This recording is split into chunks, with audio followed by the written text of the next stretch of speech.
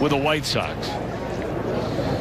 And you remember the year that he was the uh, he was a guy that just took a beating from the fans in a local. And will be the voice of the parade once again. I mean, you're like the the uh, that ball drilled by Elizalde.